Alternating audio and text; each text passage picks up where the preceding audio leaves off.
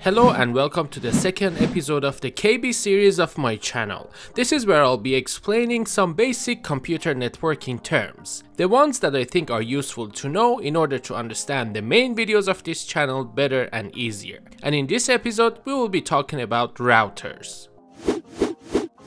A router is a device that can connect two or more networks together.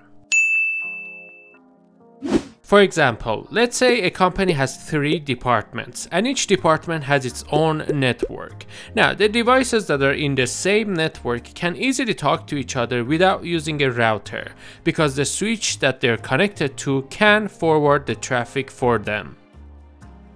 However, when two devices from two different networks want to talk to each other, they will need to use a router. For example, if this device is trying to send a packet to that device, it's gonna send it to this router. Because the router is the device that knows about these networks. It even knows which network is connected to which interface, and it keeps this information in a place called routing table.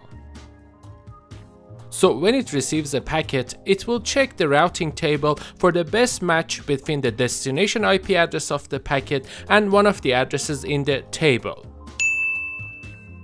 Then it will forward the packet to the right interface. Now, if the destination is not listed in the routing table, for example, let's say this computer is trying to access Google, then the router will forward that packet to its default route interface.